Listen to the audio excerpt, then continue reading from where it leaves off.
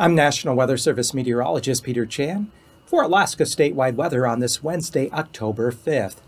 We have an area of low pressure this Wednesday afternoon situated just north of Cold Bay on the Bering side of the Alaska Peninsula with a front extending along the length of the Gulf Coast, pushing up now toward the northeastern Gulf Coast around Yakutat and the Panhandle, where there has been some moderate to heavier rainfall occurring.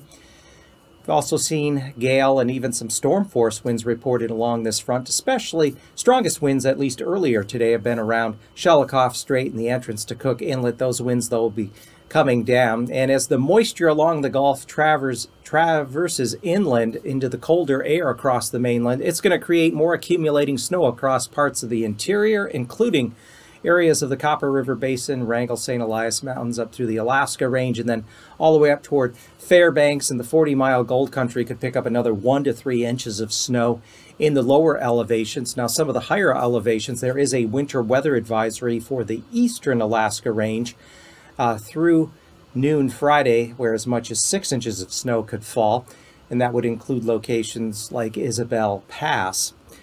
And as we look uh, toward the west, we have stronger winds creating elevated surf along the Yukon Delta coast, as well as St. Lawrence Island, and those brisk north to northeast winds will continue tonight into the day on Friday.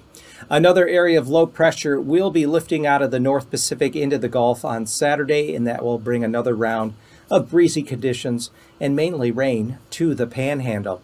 And as a reminder for the state of Alaska, this week is Winter Weather Preparedness Week. So now would be a good time to just think about winterizing around the home, making sure your vehicle is uh, ready for winter, uh, making sure uh, various power tools that come in handy, such as a chainsaw, your power auger, um, snow blower, are all ready to go. And also make sure you have some extra parts on hand in case something does break down. It makes it easy. You can do your own repair if you are so inclined. But again, winter is upon us. We've already seen some areas of the state uh, picking up uh, some snowfall.